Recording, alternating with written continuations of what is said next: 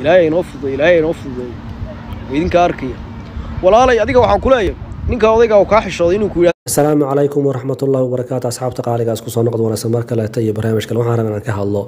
Sideeda horta waxaa weye dadka bini-aadanka ah waxyaalihii loogu talagalay in maaragta si bareefda loola hadlo ayaan maaragta wax lagu xaliyo ama si qaasa manaha maaragta looga hadlo ayaa waxaa lala yimi social media war soomaaliya waxa waa qabiil adduun ku qaribnay haddana social media qaabka loo isticmaali lahay miyaa ku dhex waalanay mase kaamiradaana waashay. Intay wax ka qaldan yihiin? Su'aalaha qaldan la isweydiinayo iyo hadallada qaar oo sarbeebta ah? Iyo hadallada xanafta la isweydiinayo xaggee u socdaan wal waxayna asla daawano fideoga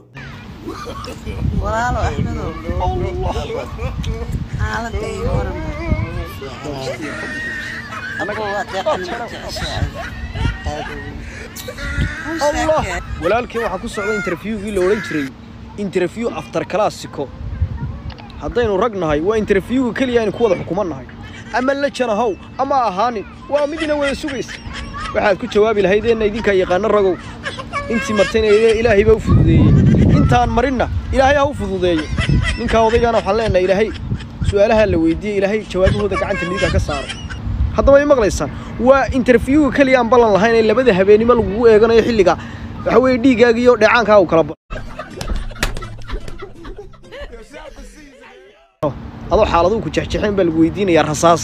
Xaggaad lacagteeda habeen hore aad soo shaqaysa dhigtay. May jeceshahay haddaba ay maqlaysaa waa idinka arkaya walaalkii waxaa ku socda.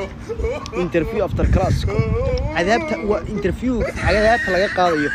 Waa interviewga labaad u dhawaaday ilaahay inoo fuday ilaahay inoo waa idinka arkaya walaalay adiga waxaan ku leeyahay ninka odayga uu kaa xishooday inuu ku yidhahdo ma fiiciniyo laakiin waxaan kaaga ku fiicanay su'aalihiina si fiican buu kaaga jawaabay siida caanahana u tiigsoola naguna ducadan soo ducayn.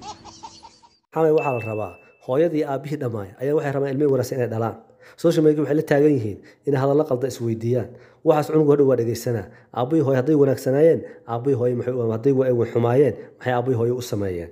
Sababtoo ah qofka qof kastoo cunuga weyn ayuu cunuga yar ku daydaa qofka waxa weye ilmuhu waalidka bay ku dayaan. Hadday waalidku wanaagsan yihiin ilmuhu waa wanaagsanaanaya laakiin hadduu waalidku si qaldan wax u sheego ilmuhuna si qaldan bay wax u sheegayaan waxaad arkaysaa qof adiga magac qof kaleeto macnaa magac loogu yidha inta soomaalidu ay iska dhib badan dad aad u dhib badan yihiin macnaa hadallo qabsan ay ku hadlaan misana wax kasta inay qodqodaan ay jecel yihiin. Waxaa arkaysaa cunugii u dhahaya haddaa weydiis wuxuu ku leeyahay aabihii hooye baa ii sheegay. War ilmahaada wax qaldan looma sheego oo wax wanaagsan baa loo sheegaa. Adoo qofka xataa og magacaas in loo qoray ama magaca uu nickname wuxuu raba ha ahaado ayaa si wanaagsan cunuga loo sheegaa. Sababtoo cunuga berri markuu qofkii arka hadalkii buu ku dhihin marka ilmahaas la rabaa inay wanaagsanaan oo aabbahood hooyadood social media waxay la taagan yihiin waxyaala aan wanaagsanayn war markii aad baad ii salamaamaya